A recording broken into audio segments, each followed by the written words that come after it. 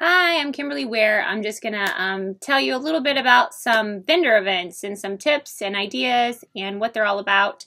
Um, first things first, I would go with your one hand done and then one hand blank because you're going to have some ladies that have their fancy manicures from the salon You'd be like, oh, I just got my nails done. And they're not going to want you to put a Twosie on them. So you, but you have to actually show them. They need to see the magic, even if it isn't on them. So you want to have some empty nails to show them how it works. Um, when it comes to passing out Twosies, don't pass out Twosies. you want to put the Twosie on them or on you. And after you put it on you and they seen it, if they didn't want it on them, then you can give them a Twosie to go home with. But do not just be like, hey, here's a Twosie and my business card. Thanks for trying it because they're not going to try it and they're not going to know what to do with it. And then they're going to go home and it's going to be in their wallet or their purse or their bag or it's going to get in the trash. It's going to be sitting on the counter and getting dusty because they're not going to know what to do with it if you don't show them physically. We have a girl on our team that was given a Twosie like this and she didn't know what to do with it. She went to a different vendor event and a girl on our team put the Twosie on them and now she has signed up with that girl and she's on our team and she's great. So don't just pass them out because you're giving away product that people aren't going to probably try and they're not going to contact you about it. You're just wasting money. So don't do that. Um, put it on. Show them. You always want to have a raffle. And um, we have these in our infographics album. Um, this actually has people's info on it. But just one of the simple little um, forms. Um, it's specifically tell people don't expect someone to read a sign and just that they're to enter in the the drawing all by themselves. Say, I'm doing a drawing for this, this, and this. Enter in and give them your little clipboard with your little papers, and they'll usually do it.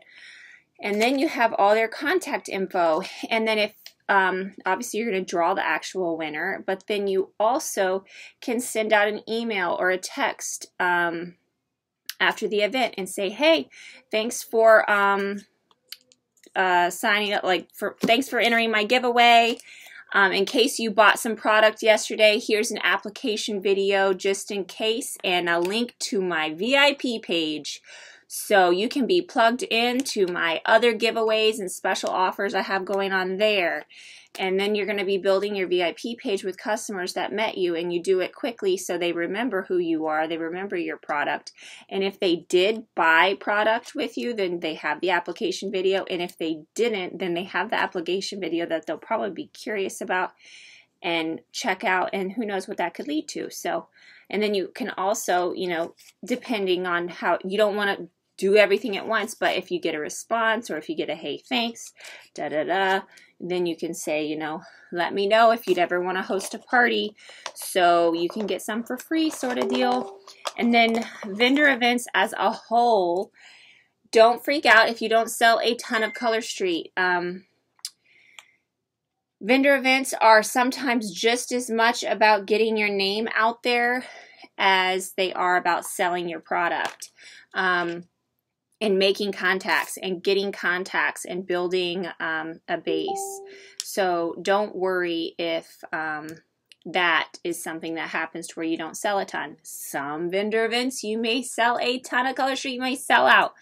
So it really depends on the vendor event and the foot traffic and the history of the event and who's there. So they can really vary. I'm just telling you, don't get um, down if it wasn't what you were thinking, if you were thinking you were going to sell all your product.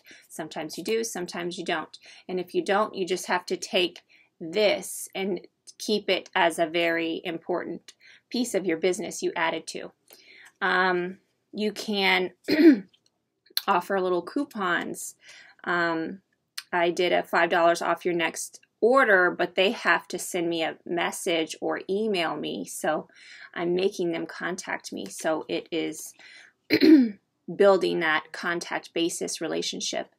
Um, that's it. Just wanted to give you a little rundown on how it could be this way and could be that way and to actually put the Twosie on them. Bye.